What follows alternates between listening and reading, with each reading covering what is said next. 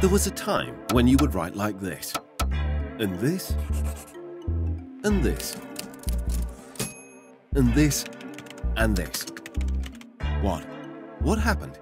Yes, you have just seen a bot writing by itself.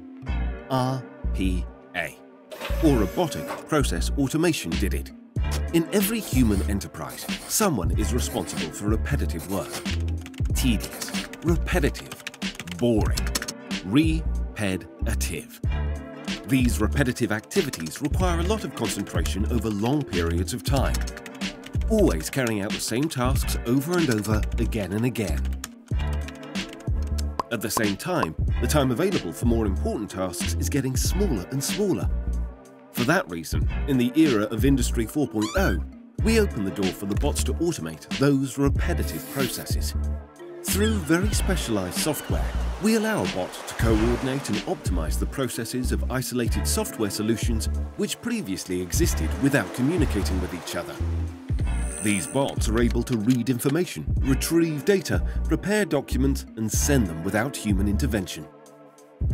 You can give them a document, ask them to read a section, transform the data into a text chain and send this information by email. Every day, multiple times, with no mistakes. This allows the employees to focus their energies on high value-added tasks, whilst letting the bots do what they do best, tirelessly reproduce a set of instructions without distractions and mistakes.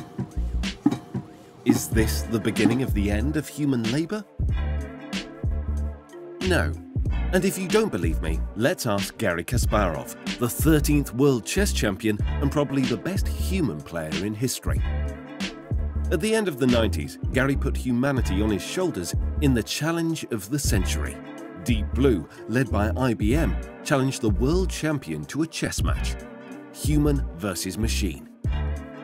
The first match in 96 was won by Garry. The rematch in 97, well, it was different. However, Garry continued to play chess. He was the world champion until the year 2000. On the relationship between humans and machines, Garry is very optimistic. In his book Deep Thinking, he tells us, I have argued that our technology can make us more human by freeing us to be more creative. We have other qualities the machines cannot match. They have instructions while we have purpose. If we stop dreaming big dreams, if we stop looking for a greater purpose, then we may as well be machines ourselves.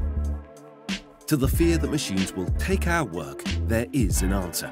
For centuries, we did manual, repetitive and monotonous work we took work away from the robots.